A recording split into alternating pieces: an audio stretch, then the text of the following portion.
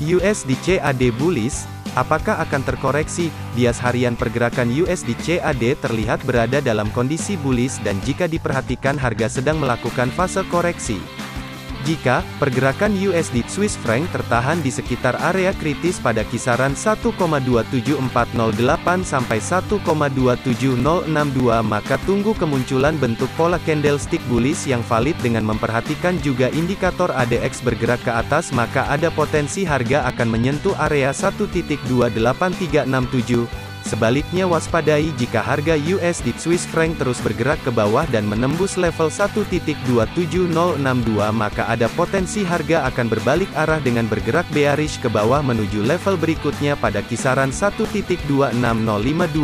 Sekian analisa forex untuk tanggal 31 Januari tahun 2022. Untuk konsultasi gratis mengenai posisi trading forex Anda, silakan hubungi 081212 983 101.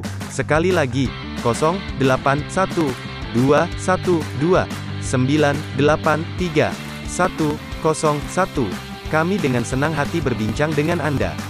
Untuk mendapatkan analisa forex setiap hari, silakan subscribe ke channel ini. Sampai jumpa di video berikutnya.